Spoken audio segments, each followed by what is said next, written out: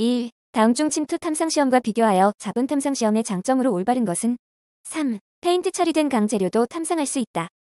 2. 다음 중 물질의 손상량 평가법으로 비파괴 검사 방법인 것은 1. 레프리카법 3. 다음 중 얇은 시험체의 두께 측정이 가능한 비파괴 검사법은 4. 와전류 탐상 검사 4. 핵연료봉과 같은 높은 방사성 물질의 검사에 적합한 비파괴 검사 방법은 4. 전사법을 이용한 중성자 투과 검사 5. 침투 탐상 시험에서 침투 능력과 관계되는 물리적 성질과 거리가 먼 것은 3. 내부식성 6. 분말 야금법의 특징을 설명한 것 중 틀린 것은 3. 제품의 크기에 제한이 없다. 7. 재료에 어떤 일정한 하중을 가하고 어떤 온도에서 긴 시간을 경과함에 따라 그 스트레인을 측정하여 각종 재료의 역학적 양을 결정하는 시험은 4. 크리프 시험 8. 구리의 특성을 설명한 것 중 틀린 것은 3. 70미 반격자이며 비중이 약 10.8이다. 9. RC유계 합금의 석출 과정을 올바르게 나타낸 것은 3. 과포와 고용체쥐 PGEP 10. 구상의견 주철에 관한 설명으로 옳은 것은 2. 볼스아이 조직을 갖는다.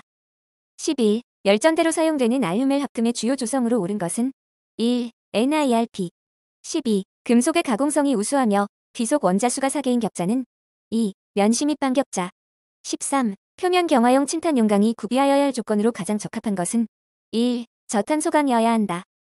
14. 스테인리스강의 조직에 해당되지 않는 것은 3. 시멘타이트 15. 강 중에 잔류 오스테나이트를 마르텐자이트로 변태시킬 목적의 열 처리는 3. sub-zero 처리 16. 용접부에 발생하는 비틀림 변형을 줄이기 위한 시공상의 주의사항으로 틀린 것은 4. 용접 순서는 구속이 작은 부분부터 용접할 것 17. 피복 아크 용접 시 피복제의 역할에 대한 설명으로 틀린 것은 2. spatter의 발생을 많게 한다. 18. submerged 아크 용접의 장점으로 틀린 것은 4. 홈 가공의 정리를 요한다. 19. 아크 용접에서 아크를 끊는 순간에 생기며 용융풀의 응고 수축에 의한 오목 형상으로 편석이 생기기 쉬운 곳을 의미하는 용어는 2. 크레이터 20. 용접기의 무부하 전압 100V, 아크 전압이 40V, 아크 전류가 300A이고 내부 손실이 5kW이면 용접기의 효율과 역률은 약 얼마인가?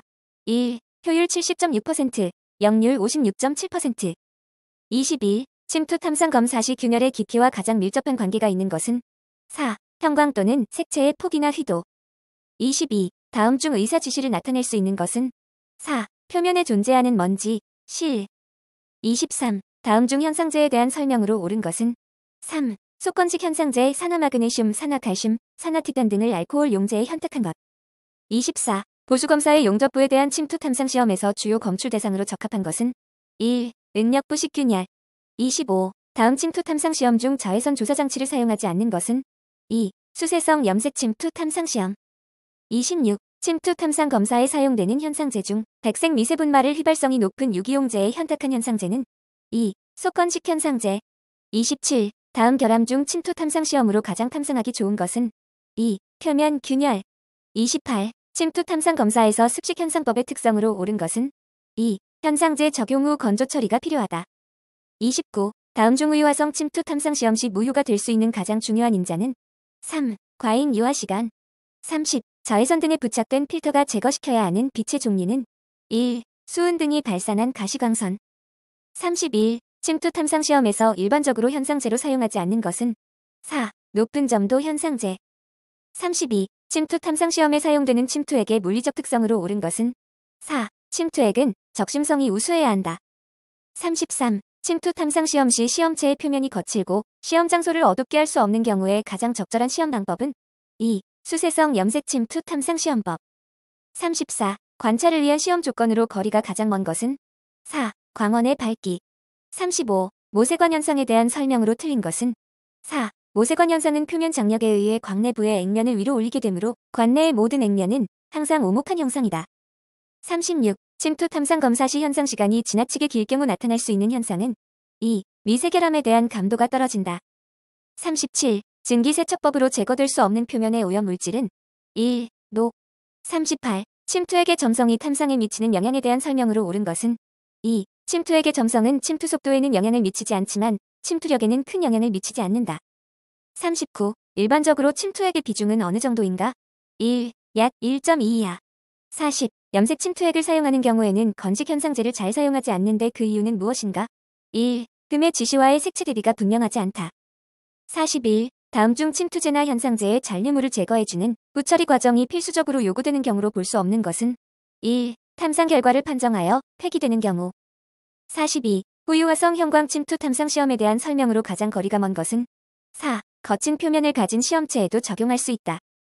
43. 다음 중 형광 침투액에 기름 베이스 유화제를 사용하는 경우 유화 시간으로 적합한 것은 1.1에서 3분. 44. 염색 침투 탐상 검사에서 오염물을 제거하는 방법 중 부적합한 것은 4. 사포 연마버.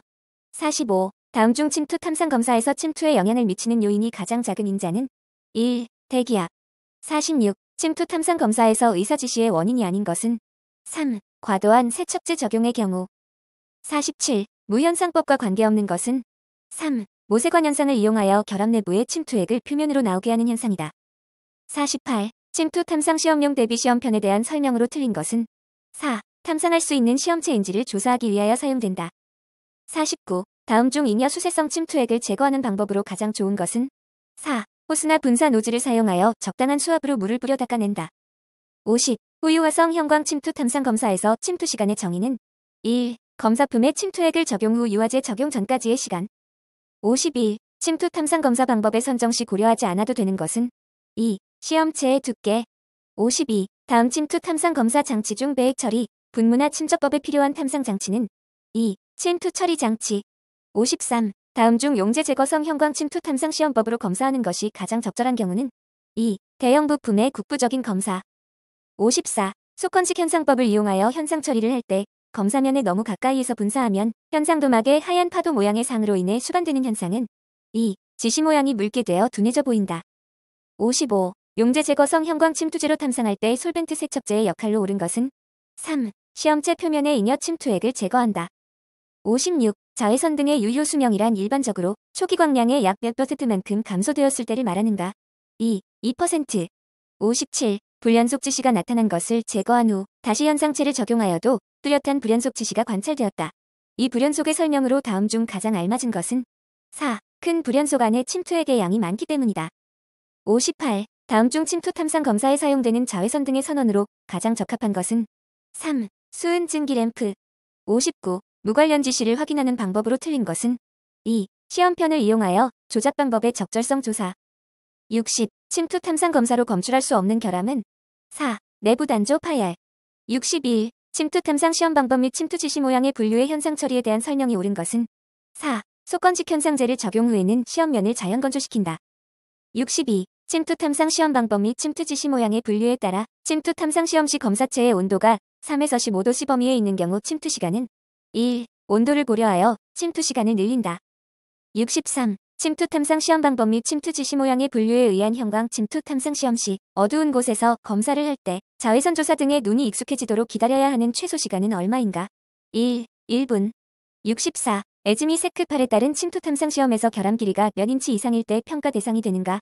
3. 1-16.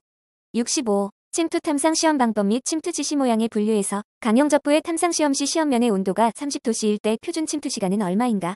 1. 5분. 66. 보일러 및 압력 용기에 대한 침투 탐상 검사에서 용제 제거성 형광 침투제를 이용하여 알루미늄 용접부를 시험하고자 할 때 권장하는 최소 침투 시간은 얼마인가? 3. 5분. 67. 비파괴 검사 침투 탐상 검사 일반 원리에서 규정한 검사 및 판독에 대한 설명으로 옳은 것은 3. 시험 표면에 검사 시 염색 침투액을 사용하는 경우 조도는 500룩스 이상의 조명이어야 한다. 68. 침투 탐상 시험 방법 및 침투 지시 모양의 분류에 따른 탐상 시험에서 세척 처리에 스프레이 노즐을 사용할 때 특별한 규정이 없는 한 최대 수압은 약 얼마인가? 4. 275kPa 69. 침투 탐상 시험 방법 및 침투 지시 모양의 분류에서 시험 방법의 분류 기호가 다음과 같을 때 n의 의미는 4. 현상제를 사용하지 않는 방법 70. 침투 탐상 시험 방법 및 침투 지시 모양의 분류에서 시험체의 온도가 35도씨일 때 표준 현상 시간은 2. 7분. 71. 보일러 및 압력 용기에 대한 침투 탐상 검사에 따라 니켈 합금을 검사할 경우 모든 탐상제는 유황함유량을 분석하여야 하는데 무게비로 유황함유량은 몇 퍼센트를 초과할 수 없는가? 1. 1%. 72. 보일러 및 압력 용기에 대한 침투 탐상 검사에 의한 습식 현상제 중 수성 현상제의 적용 방법이 아닌 것은 3. 투척. 73. 침투 탐상 시험 방법 및 침투 지시 모양의 분류에서 B형 대비 시험편의 종류가 아닌 것은 1. PTB 40. 74. 침투 탐상 시험 방법 및 침투 지시 모양의 분류에 의한 침투 탐상 검사를 할 때 전처리의 내용으로 틀린 것은 4. 처리 방법으로는 물 베이스 유화제에 2분 이내로 담가둔다. 75. 침투 탐상 시험 방법 및 침투 지시 모양의 분류에 따른 시험에 전기 또는 수도 시설을 생략할 수 있는 시험 방법은 2. 용제 제거성 염색 침투제를 사용하여 속건직 현상제를 적용하는 시험 방법. 76. 보일러 및 압력 용기에 대한 침투 탐상 검사에 규정된 과잉의 수세성 침투제를 물분무로 제거할 때 수압과 수온으로 오른 것은 4. 수압은 350kPa, 수온은 43도씨를 초과할 수 없다. 77. 침투 탐상 시험 방법 및 침투 지시 모양의 분류에서 유화 시간의 시작점은 어느 때부터인가? 2. 유화제를 시험체에 적용한 시점. 78. 보일러 및 압력 용기에 대한 침투 탐상 검사에 따른 침투 탐상 시험에서 시험 방법을 분류할 때 Type I Method A는 어떤 시험 방법인가? 3. 수세성 형광 침투 탐상 시험. 79. 침투 탐상 시험 방법 및 침투 지시 모양의 분류에 규정된 A형 대비 시험편의 규격은 1. 75 곱하기 50.